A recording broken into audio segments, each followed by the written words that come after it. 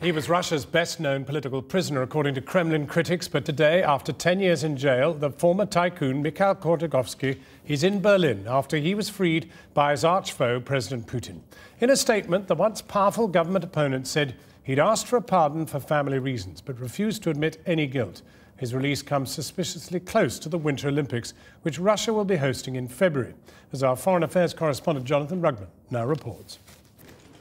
Mikhail Khodorkovsky was Russia's ultimate wheeler dealer, once its richest man, before falling foul of its most powerful politician, Vladimir Putin, who has effectively ruled Russia for all of the last 14 years.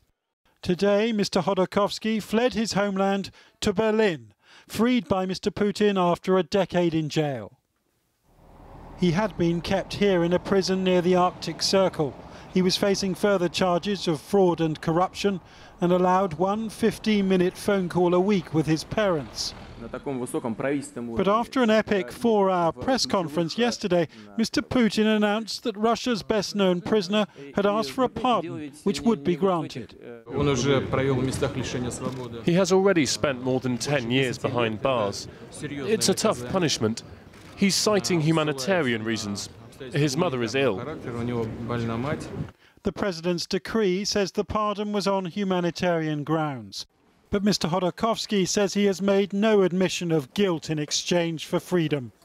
Amnesty International claims he was a political prisoner, his real crime challenging the power of Mr. Putin himself. He made his money after the Soviet Union's collapse, when perestroika or restructuring really meant get rich quick to a select few. Khodorkovsky, the most successful of the so-called oligarchs.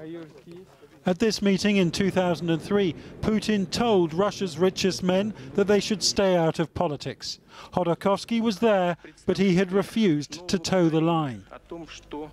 He was arrested at gunpoint at this airport later that year and his oil company Yukos was absorbed into the state oil company, his business empire torn apart.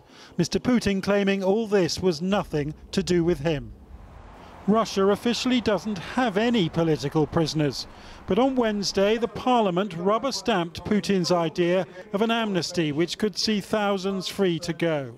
From the Pussy Riot performers jailed last year to the 30 Greenpeace activists currently on bail though Mr. Khodorkovsky's is a case apart.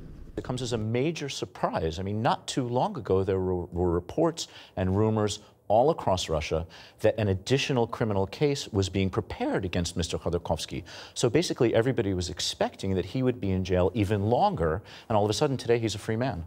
Well, doesn't that speak to the power of the Sochi Olympics and uh, uh, Russia about to be on the world stage? Yeah, for somebody who says that he doesn't really care about international opinion, about himself and about Russia, Mr. Putin has once again shown that he actually does care quite a bit.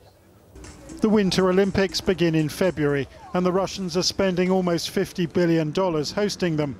And though many less infamous still remain in jail, making a success of Sochi may have melted Mr. Putin's heart.